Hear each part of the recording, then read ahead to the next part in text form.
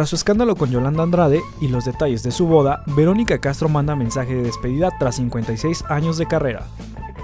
Luego de que te diéramos a conocer sobre el posible romance entre Marina de Tavira y Diego Luna, la actriz no ha querido hablar con los medios y en un intento por evadir a la prensa, emprendió la huida armando un tremendo zafarrancho durante un evento.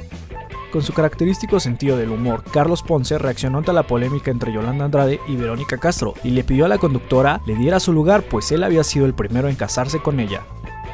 Sorprendentemente, Alma Cero defendió a Kimberly Flores por los ataques que ha recibido en redes sociales por parte de su madre, pues aseguró que es lamentable que las mujeres se ataquen entre ellas. Estas fueron las irresistibles de TV Notas.